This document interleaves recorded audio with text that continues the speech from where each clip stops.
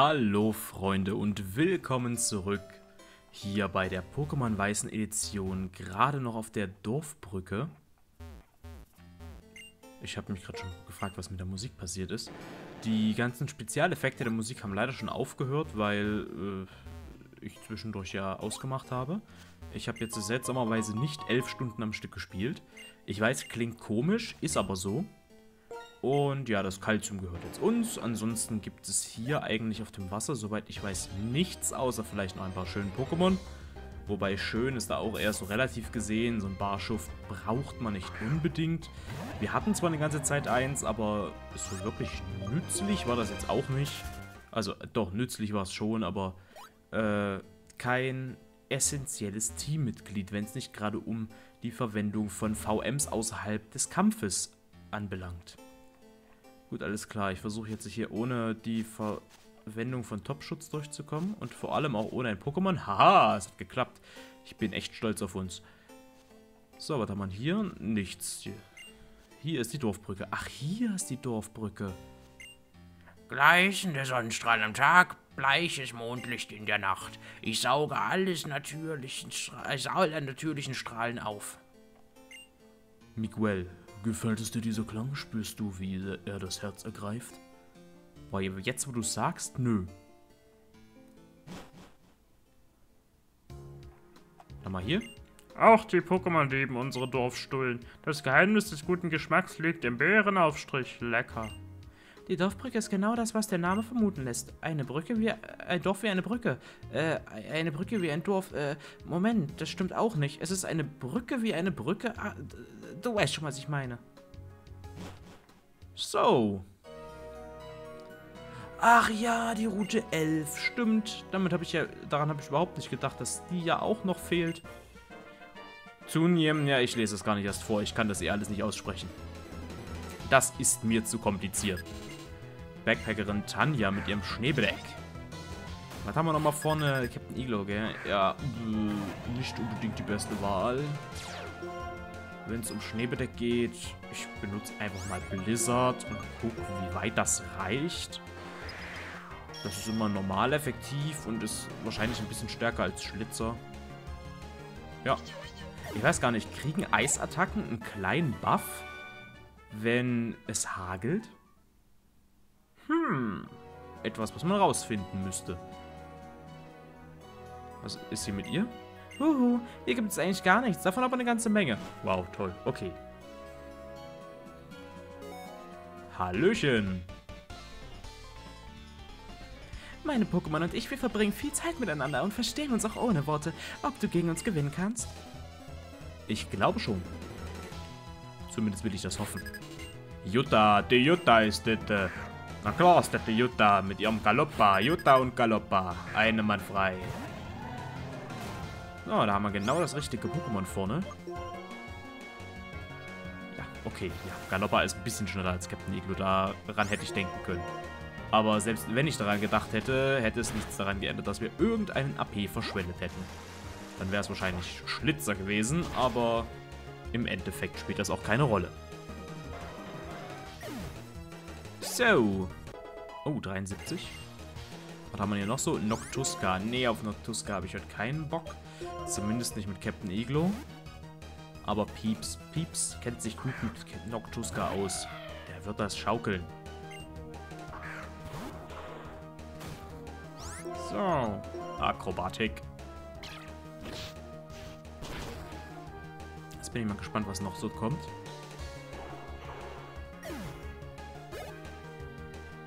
Es ist ein Mantax. Okay. Mantax. Da wechseln wir gleich mal auf Exeldika. Auf genau so eine Gelegenheit hat Exeldika nämlich gewartet. Dass es endlich wieder nützlich wird. Wasserring. Ich frage mich gerade, ob wir Exeldika überhaupt irgendwann mal gewinnbringend einsetzen können. Gerade noch. In der Pokoliga eigentlich ja nicht. Das macht mir Angst. Auch ihr versteht euch ohne Worte. Ja, das tun wir. Erinnere dich an uns, wenn du diese Beere hervorholst. Ich werde diese Beere nie hervorholen. Es ist so eine Yonago-Beere und damit eine meiner liebsten Bären. Die Arbeit als Ranger macht Spaß, aber die Zeit mit dem Pokémon ist für mich die wertvollste. Was auch immer geschieht, nie will ich von meinen Pokémon getrennt sein. So, ihn, ja, ihn besiegt man jetzt auch noch schnell. Machen wir erstmal hier die Straße fertig. Please let me battle you so I can etch our meeting into my memory. Okay. John und sein Glibunkel. Okay, damit können wir Wasserattacken vergessen. Ich fliege auf dem Bildschirm. Weg mit dir, du Fliege. Aber Glibunkel müsste auch so ganz gut weggehen. Wie gesagt, das ist wieder ein typischer Fall von fehlender Entwicklungsstufe. Okay, Captain Iglo vergiftet. Warum auch nicht? Da ist die Fliege wieder. Stirb. Ich weiß nicht, ob ich sie habe. Keine Ahnung.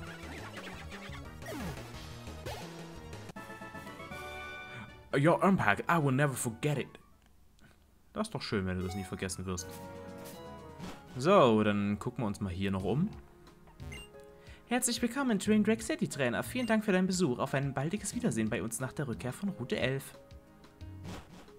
Wisst ihr, was ich jetzt tue? Hallo, Dr Twin Drake City. Lange waren wir nicht mehr hier. Und lange werden wir auch hier nicht sein. Ich will nur das Gift wegmachen. Und dann geht es gleich wieder weiter auf Route 11. Die letzte Route, die uns noch fehlt. Wobei... Ich jetzt... Ich die Zeit jetzt verpasse. Ich kenne mich ja, ne? So ist es nicht. Werde ich jetzt etwas tun. Das nennt sich Pieps nach vorne holen. Dann mit Pieps nach Undula fliegen. Wir haben schließlich nur noch eine Stunde Zeit. Und ich glaube, wir kriegen auch nicht alle. Ich glaube, das LP ist früher zu Ende, bevor ich hier wirklich alle erwischt habe. Aber soweit wir noch die Chance dazu haben, will ich wenigstens die anderen Familienmitglieder auch noch hinzuziehen. So, wie gesagt, das lese ich alles nicht mehr vor. Zumindest nicht von denen, die wir schon kennen. Sein Bammelin interessiert uns eigentlich relativ wenig. Teddy Ursa und Schlapor sind auch nicht besonders wichtig. Was Oma hat, habe ich schon wieder vergessen. Also, ich würde sagen, gute Voraussetzungen. Klassischer Fall von fehlender Entwicklungsstufe. Ja, ja, mm, ja, mhm. Ja, das ist so ärgerlich. Mann, Mann, Mann. Ich nehme mich sehr in Acht, denn heute wird sie nicht verlieren. Natürlich wird sie heute nicht verlieren. Warum sollte sie auch heute verlieren? Heute ist ja ein vollkommen anderer Tag und meine Pokémon sind überhaupt nicht stärker als sonst. Ihre sind überhaupt nicht im gleichen Level. Also deswegen ist es auch nur logisch, dass sie heute nicht verlieren wird. So, ciao Teddy Ursa. Sogar mit Volltreffer. Äußerst unbarmherzig, möchte ich meinen. So, ciao Schlapor. Ich finde es immer noch ein bisschen schade, dass Pieps ein ähm, negatives Angriffswesen hat. Da hätte ich vielleicht mal drauf gucken sollen, bevor wir es jetzt abholen, aber es geht ja auch so. So. Oh, du glaubst ja tatsächlich, dass du gegen mich gewinnen kannst? Ja, das glaube ich tatsächlich. Das glaube ich wirklich. Ach ja. Bronzel, ich erinnere mich. Da war ja was. Ähm, mal gucken, wie wir das am besten wegkriegen. Ich probiere es mal mit Akrobatik. Wegen Step-Attacke. Ja, wenigstens die Hälfte. Und Heilblockade stört mich nicht. Alles klar, das Bronzel ist gut beseitigt. Ciao, Kollege. Haben wir sonst noch so? Ach ja, ach ja, Kangama. Ich habe das morgen eh wieder vergessen. Oder wenn ich das noch weiß, dann äh, werde ich vergessen, was der vierte Trainer haben wird. Wutanfall. Okay. Dürfte eigentlich nicht so stark sein. Ja. Man merkt halt doch eindeutig, was eine Step-Attacke ist und was keine ist. Golgant. Ach ja, Golgantes. Stimmt. Ich nehme mal Captain Iglo. Der kann das. Ich könnte, hätte auch Erdbeben einsetzen können. Das wäre eine Vierfachschwäche gewesen von Golgantus, aber so muss das auch gehen. So, Siedewasser.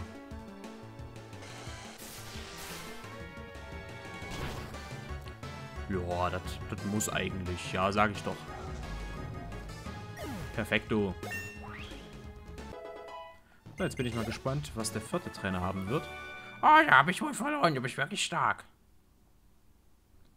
Nach so langer Zeit mal wieder einen Pokémon-Kampf bestreiten zu können. Da kommt Freude auf, ja. Es juckt mich schon in den Fingern. Wärst du so freundlich, dich mit mir an einen Kampf zu stellen? Nö. Nö. Nö, keine Lust. Wirklich nicht. Nein. Clifford. Potrot. Äh, Potrot. Warum Potrot? Ist Potrot Käfer? Potrot war, glaube ich, mit Käfer, gell? Steinkäfer. Da müsste Akrobatik ja eigentlich relativ gut funktionieren. Trotz der riesigen Verteidigung von Potrot. Potrot ist eins der Pokémon. Tauscht Angriff und das war dumm. Das war wirklich dumm. Also zumindest... Also eigentlich ist es echt klug, diese Attacke, wenn Potrot nicht in zwei Zügen kaputt gegangen wäre. Schlobleck.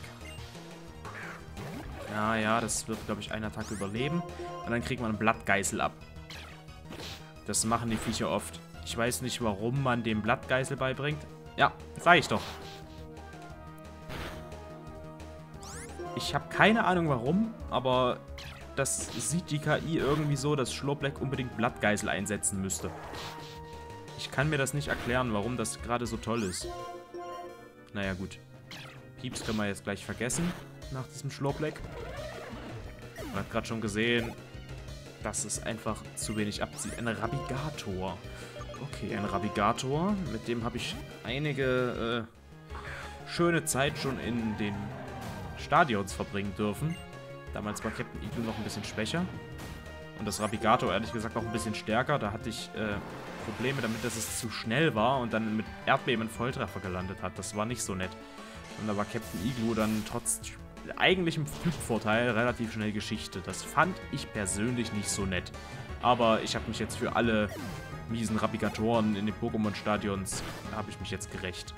Ein Quaxo, ein Quaxo. Na, da rufen wir doch mal Exeldika. Gut, Exeldika. Das Problem bei den Kämpfen hier ist, das ist ja im Prinzip wie die Familie Shiga in, ähm, in der dritten Generation, nördlich von Malvenfroh City. Nur, dass die hier natürlich mit äh, Familien, steigender Familienzahl auch wirklich wesentlich besser werden. Und so kann man sagen, ja gut, ich rüste mich jetzt... Was für eine großartige Stärke, ja. Ich sag, erzähl gleich weiter. Oh, auch im Alter macht es Spaß, ein Pokémon im Kampf antreten zu lassen. Manchmal kann so ein bisschen Aufregung gar nicht schaden. Du bist hier jederzeit willkommen und beim nächsten Mal gewinne ich. Ich glaube ja nicht.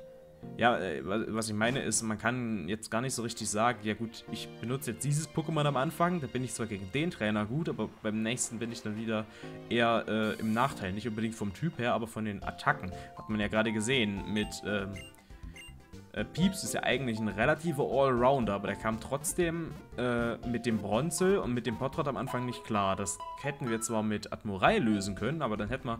Ja, es ist nur ein Bammelin, aber jetzt mal so ähm, für die Allgemeinheit gesprochen, wäre das jetzt nicht nur ein Bammelin gewesen, sondern ein, weiß ich nicht, ein Garados. Ja?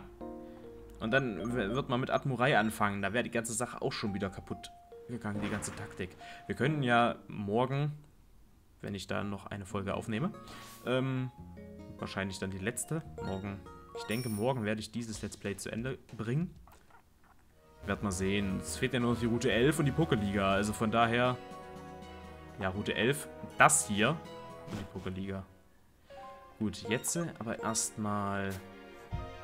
Ja, erstmal wieder die Maus in die Hand nehmen. Das ist das einzige Mal, dass ich die Maus auch wirklich benutze, um schnell zu diesem Topschutz zu kommen. So, jetzt hier einmal rum. Denn wenn mich nicht alles täuscht, müsste jetzt gleich die Eiszeit einsetzen. Eiszeit, hallo? Vielleicht müssen wir erst nochmal zu der Oma. Wir haben uns die Oma zwar angehört. Warum? Was ist denn, was ist denn hier schief? Warum geht das denn nicht? Ich begreife das nicht. Ich begreife das beim besten Willen nicht. Ich kann jetzt nochmal aufs Fahrrad und kann nochmal hier hochgucken. Oma ist ja nicht mehr da. Oma pennt ja jetzt bei sich zu Hause. Schutz wirkt nicht mehr. Ja, wir müssen ja gleich wieder einen einsetzen. Oma ist jetzt wieder hier.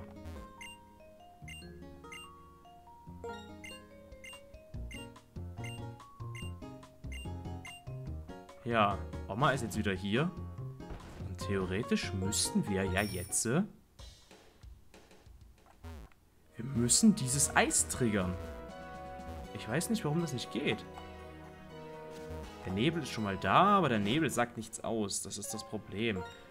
Ja, genau, runter vom Fahrrad. Nein, ich wollte einfach nur die schöne Fahrradmusik hier in der Höhle haben. Deswegen bin ich extra nochmal vom Fahrrad runter. Was soll denn dieser Mist mit dem QRAM? Ich bin doch nicht vollkommen blöde. Ich will es jetzt nicht nachlesen müssen, wie das richtig funktioniert. Die Oma hat doch gesagt, man ist in der Nacht drin, weil das Pokémon in der Nacht rauskommt. Also, müssen wir doch eigentlich jetzt zu den Pokémon nicht hin können, weil das Pokémon ja jetzt draußen ist und dementsprechend nicht in seiner Höhle. Schutz wirkt nicht mehr. Ja, dann setzt es halt nochmal ein. Ich gucke mich jetzt nochmal ganz genau um.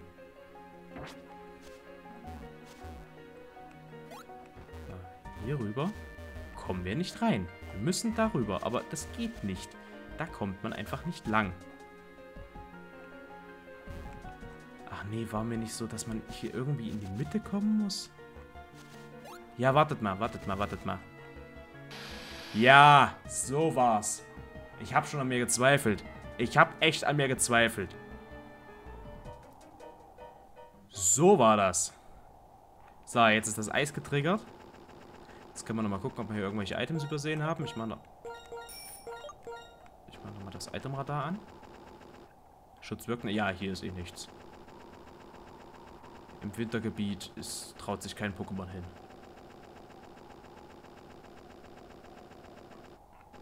Ne, Items haben wir anscheinend auch nicht übersehen. Ich gucke mich jetzt ja auch nicht hundertprozentig um, also von daher... Ja, natürlich ist hier noch ein Pokémon. Warum auch nicht? Golbat. Was auch sonst. Die ätzendsten Höhlen-Pokémon. Zubat, Golbat. Fürchterlich. Eigentlich immer ganz gut äh, am Anfang. Ach, ernsthaft? Guck mal, da vorne ist doch schon das Kyurem. Noch ein Golbat. Ich würde kurz sagen, hier in der fünften Generation ganz gut ersetzt wurden durch das Pflegneuel. Das ist mindestens genauso assi und nervig. Aber na gut. Hey, wir sind bei Kyurem. Ernsthaft? Auf so einem kurzen Weg drei Golbat? Ich bin froh, dass die überhaupt nicht übertreiben, die Viecher. Gut, alles klar.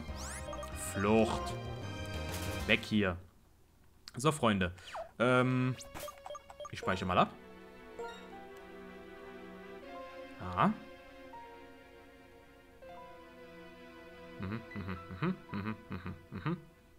Mhm. So, Kyurem. Eigentlich, zumindest hier in Schwarz und Weiß 1, ein sehr unnützes Pokémon. Das muss man einfach sagen. Hier hat es noch überhaupt keinen guten Attackenpool. Ähm, es bringt eigentlich fast überhaupt nichts. Das ist hier noch kein gutes Pokémon. Es entfaltet seine richtige Wirkung eigentlich erst in Schwarz und Weiß 2. Danach kann man ordentlich mit ihm arbeiten. Aber so hier eigentlich nicht. Beim besten Willen. Ich habe keinen Flockball eingesetzt. Naja. Kragenklaue kannst du nicht, oder? Nein, sehr gut. So. Aua. Aua. Hä? Warum hat das so? Ich, ich, ich frage einfach nicht. Ich sehe es als gegeben und setze einen Finsterball ein. So, mal gucken, ob wir dieses Kyurem jetzt noch fangen. Ich gebe den Kyurem alle Chancen, im Ball zu bleiben. Das wird auch das letzte für diese Folge heute sein. Allerdings werde ich unsere Pokémon nicht heilen. Das äh, werde ich... Das kann ich euch sagen. Wenn unsere Pokémon besiegt sind, sind sie besiegt. Dann sehe ich das Kyurem als nicht gefangen, mache eine Folgenpause.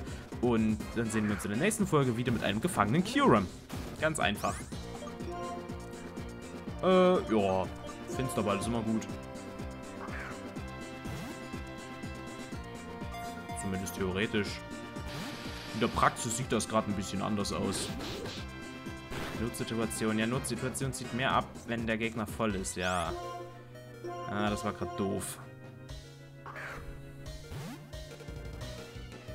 Naja. Mal gucken. Also bisher haben wir schon ist, äh, äußerst effektiv unsere Versuche, dieses Vieh zu fangen. Naja, der schmeißt mal noch ein paar Überbälle.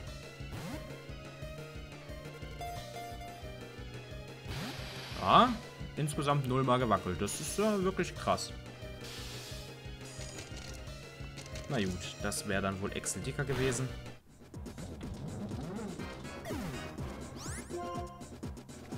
So, Slash. Slash müsste eigentlich am meisten aushalten von allen, wenn nicht gerade irgendwas krasses auf ihn zukommt. Irgendein besonders mega Volltreffer. Hey, wenigstens einmal schon gewackelt. Das hat was. Begrenzer. Ich glaube nicht, dass Slash irgendwas kann, was du kannst. Ich, ich glaube ehrlich gesagt nicht dran.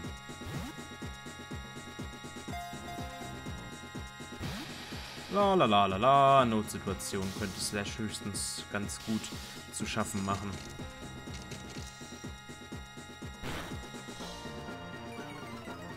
Ah. Okay. Ja, alles klar. Eiszeit ist äh, normal effektive Attacke wegen dem Bodentyp. Daran habe ich gerade nicht gedacht. Eigentlich auch nicht wichtig. La la la la la, Hyperball. Na komm, bleib schon drin. Da muss ich dich nicht offscreen fangen. Die Leute wollen wenigstens sehen, wie ich hier nicht cheate, um ein legendäres Pokémon zu fangen. Bei Ramoth und... Ne, die anderen habe ich alle so gefangen, oder? Weiß ich nicht. Also, Cobalium habe ich auf jeden Fall so gefangen. Ich glaube, Viridium habe ich auch gerade noch so gefangen. Das war, glaube ich, meines Wissens nach kurz bevor ich äh, das Offscreen gemacht hätte. Ramoth ging mir einfach auf den Sack. Das musste ich offscreen machen. Das hat sich angestellt wie eine Diva. Aber das war dem geschuldet, dass ich einfach vollkommen unterlevelt war eigentlich, um dieses Ramoth zu fangen.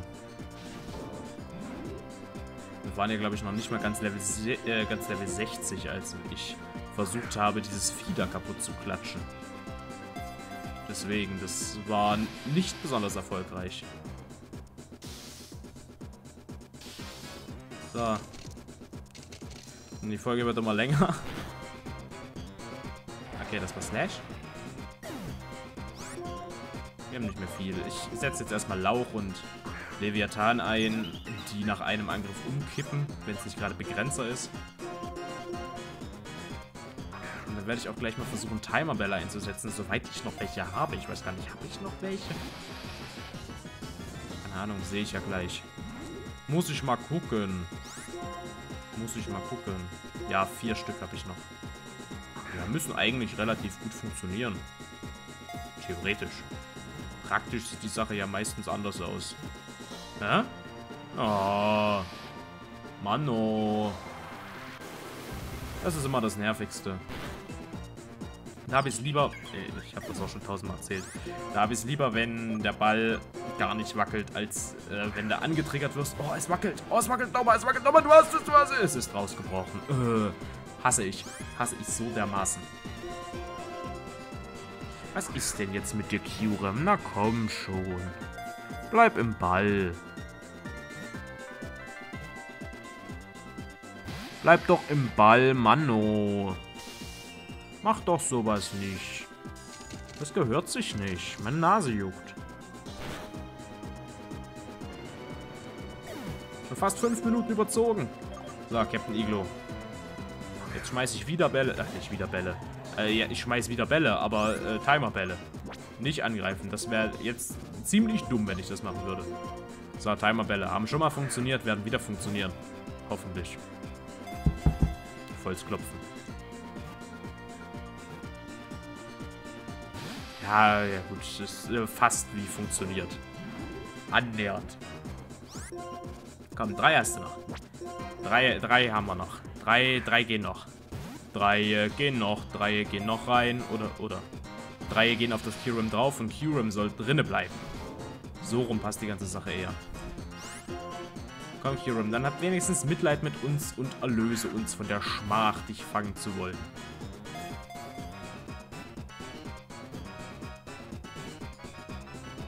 Oh, das gibt's doch nicht. Was soll denn der Rotz? Bleib doch im Ball drinne. Bleib doch einfach drinne. ja, Captain Iglo ist, äh, wenn er nicht gerade irgendwie noch Drachenpuls abkriegen sollte. Ich habe nicht mitgezählt, wie viel er noch hat, äh, hat, noch hat davon. Einmal. Okay, das waren die Timerbälle. Ah, da ist ein Drachenpuls. Gut, ich glaube, den könnte er vielleicht noch überleben. Nein, auch nicht mehr. Okay, war ein Volltreffer. Gut, Freunde, das war's dann für diese Folge. Hat lang genug gedauert, dieses äh, Failen jetzt mit diesem Kyurem.